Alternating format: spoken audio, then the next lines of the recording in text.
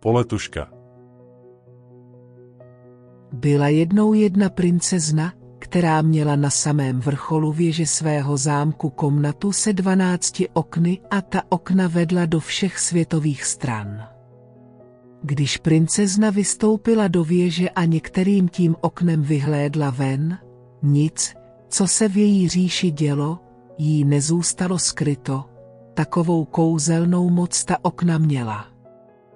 Skrze to první okno viděla ostřeji než kdokoliv jiný, skrze to druhé ještě lépe, tím třetím ještě jasněji, a tak to šlo dále, až do toho dvanáctého, kterým viděla i věci, které byly ukryty nad zemí nebo pod zemí. Jenomže tohle čarodějné pokoukání bylo princezně jen k píše a své hlavosti. Jednoho dne si usmyslela, že zůstane navždy sama a bude vládnout svému království po svém. Proto nechala rozhlásit, že jejím mužem se nemůže stát nikdo, kdo se před ní nedokáže ukrýt tak, aby ho nenalezla. A kdo se opováží zkoušet svoje štěstí a ona ho najde, ten bude mít veselku se zubatou a nakonec narazí jeho hlavu na kůl. A bylo to. Toho času stálo před zámkem už 97 kůlů s naraženými hlavami a v zemi už nebyl nikdo, kdo by měl chuť hrát si na schovávanou. To bylo ovšem princezně vhod a pomyslela si, do konce svého života budu svobodná. Jednoho dne se ale na zámku objevili tři bratři a dali jí na vědomost, že by rádi vyzkoušeli štěstí. Ten nejstarší bratr si myslel, že bude v bezpečí, když se vsouká do skalní pukliny, ale tohle hledání bylo pro princeznu hračka. Spatřila ho už v prvním okně. Poslala pro něj a než by jeden okem mrknul, zdobila jeho hlava další kůl. Prostřední bratr si vlezl do zámeckého sklepa, ale také jeho princezna uviděla už v prvním okně a zubatá se smála, když mu hlavu naráželi na 99. kůl. Teď přišla řada na toho nejmladšího bratra, který princeznu prosil, aby mu dala jeden den k přemýšlení a k ukrývání tři pokusy.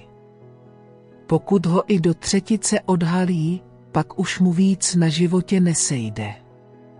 Byl to jinoch krásný a upřímný, to pišnou princeznu pohnulo, a tak řekla, ano, souhlasím, ale stejně ti to nepřinese štěstí.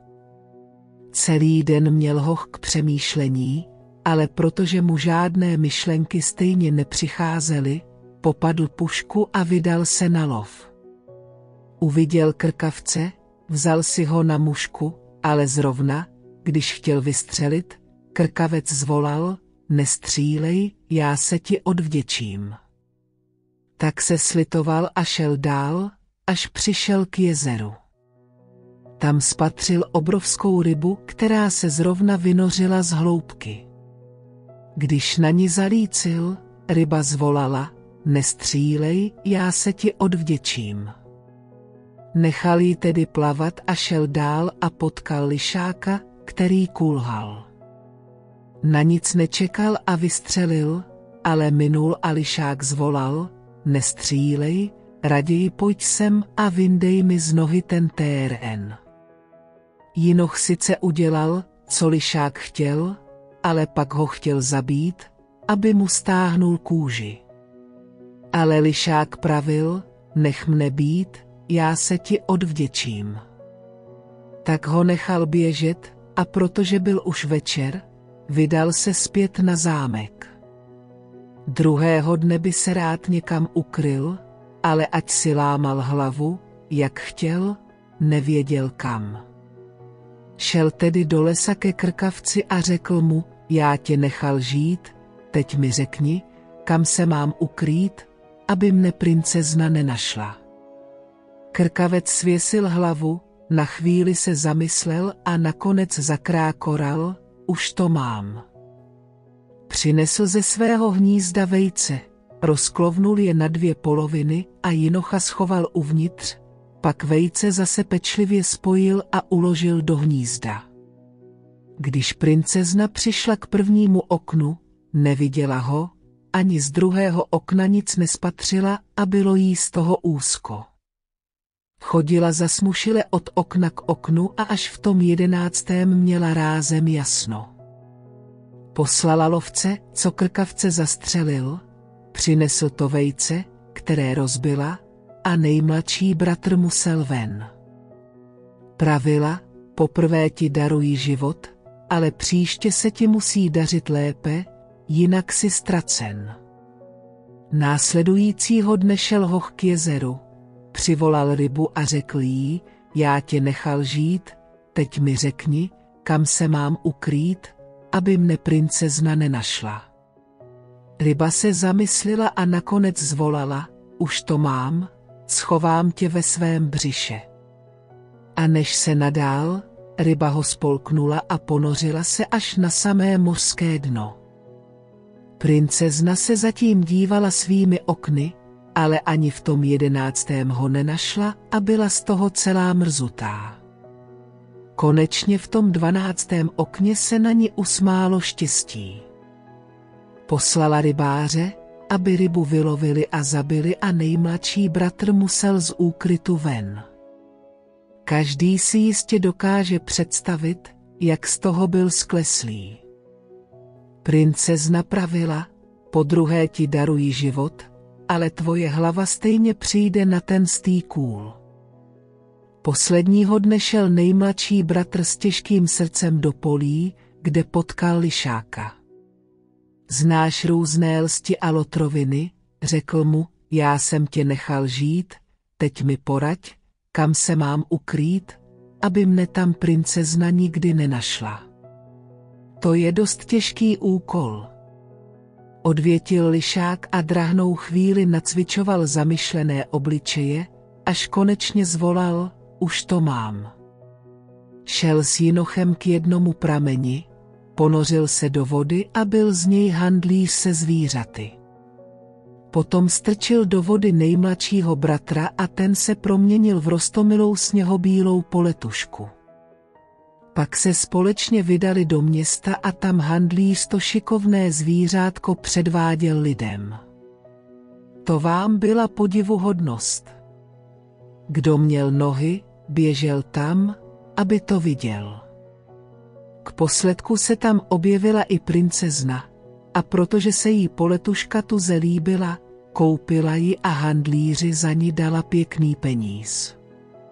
Nešlišák poletušku předal princezně, pošeptal jí, až přijde princezna k oknům, schovej se jí pod cop. Přišel čas hledání a princezna kráčela od okna k oknu až k tomu jedenáctému, ale nikde hocha neviděla. Když bylo i to dvanácté okno jako slepé, posednul jí strach a vztek tak velký, že okenici zabouchla takovou silou, až to ve všech oknech zapraštělo a celý zámek se zachvěl. Pak se sklo ze všech kouzelných oken vysypalo. Rozuřená princezna odcházela pryč a tu ucítila ve vlasech poletušku. Popadla ji, mrštila s ní o zem a hněvivě křikla, kliď se mi z očí. Poletuška na nic nečekala a pelášila k handlíři, oba pak spěchali ke kouzelnému prameni, kde se zase proměnili. Nejmladší bratr Lišákovi děkoval, krkavec i ryba jsou proti tobě hlupáci, ty máš opravdu za ušima. A pak šel rovnou na zámek. Princezna na něj už čekala a podrobila se svému osudu. Pak byla velká svatba a on se stal králem a pánem celé země. Nikdy princezně neřekl, kam se po třetí ukryl a kdo mu pomáhal, takže věřila, že to dokázal sám svým čarodějnickým uměním a měla se před ním na pozoru, neboť si myslela, ten umí daleko více než ty. Doufáme, že jste si tuto pohádku užili, bylo nám potěšením. Sledujte nebo se přihlaste k odběru, abyste objevili naše nejnovější audioknihy.